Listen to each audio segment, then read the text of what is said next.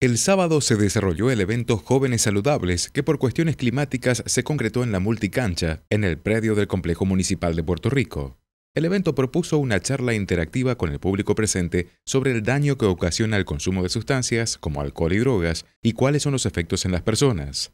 Esta fue organizada por Atención Primaria de la Salud y psicólogos del área de violencia de género y familia de la Municipalidad de Puerto Rico. Luego fue el turno de Zumba con la instructora Alejandra González, que junto a sus alumnas, más el público que participó, brindaron una clase abierta.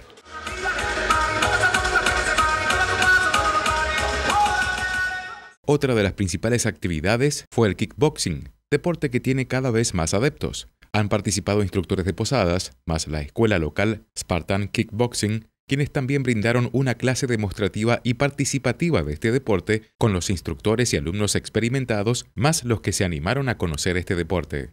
Del evento también ha participado el grupo gastronómico local con variadas propuestas y la música en vivo con presentación de artistas locales.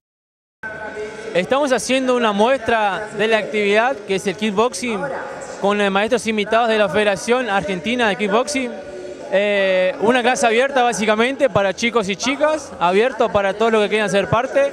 Y bueno, se vio una parte técnica, parte física y ahora continuamos con más. El kickboxing es una actividad, un arte marcial japonés que fue modificado a, lo largo del tiempo hasta llegar a ser lo que es hoy, que es una actividad deportiva eh, muy implementada últimamente en lo que es MMA, que es artes marciales mixtas. Y bueno, tiene sus bases orientales mezclada con un poco de técnicas occidentales. Esta actividad es abierta a todo el mundo, obviamente. Eh, se ven hay chicos mezclados.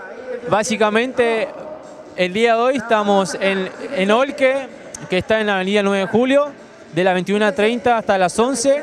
Por ahora estamos haciendo horarios para chicos, es para más para gente mayor, de 15 en adelante. El deporte en sí es usado mayormente deportivamente, hay competencias, torneos, es un gol, es un deporte de contacto, igual que boxeo, igual que otras artes marciales similares.